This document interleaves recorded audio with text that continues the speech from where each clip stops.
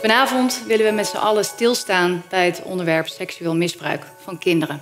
We weten allemaal dat het bestaat, maar we proberen onszelf tegelijkertijd wijs te maken dat het ja, een ver van ons bedshow is. Maar uit de laatste cijfers blijkt dat in elke klas op de basisschool twee kinderen zitten die te maken hebben met seksueel misbruik.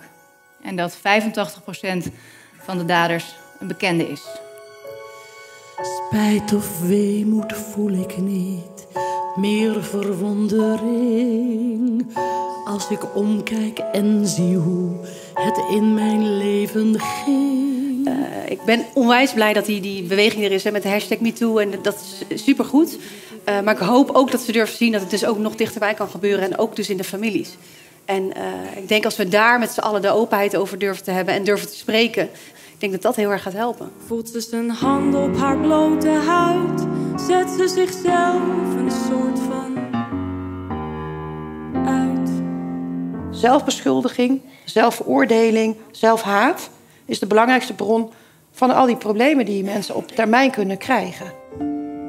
Waarom heb ik toch nooit iets gedeeld?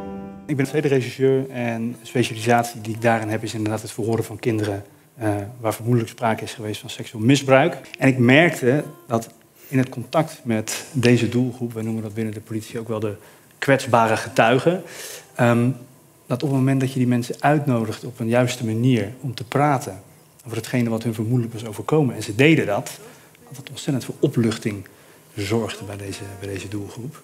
En dat vond ik zo ontzettend mooi dat ik dacht, ja, dit is nou echt betekenisvol werk. En hij daar dacht even iets te zien, een stilse blik misschien,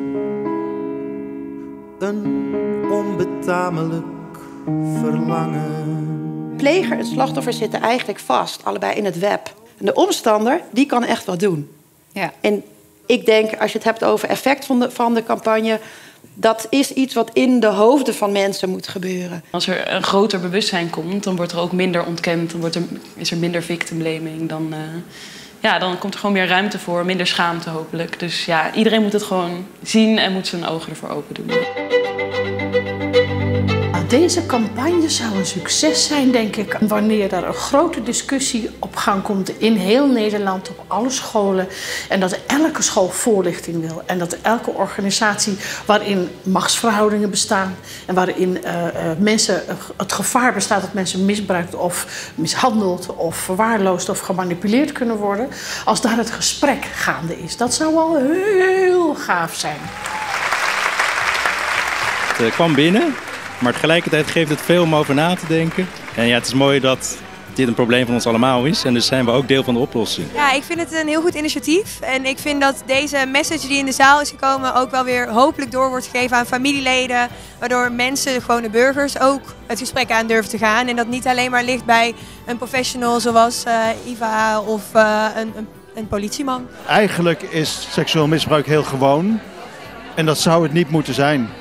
En we moeten door het zichtbaar te maken uh, het helpen voorkomen. De kracht die ik heb gezien bij Mandy, ik denk dat die kracht die zij uitstraalt, dat veel slachtoffers daar uh, ja, kracht uit kunnen putten om uiteindelijk ook naar voren te treden.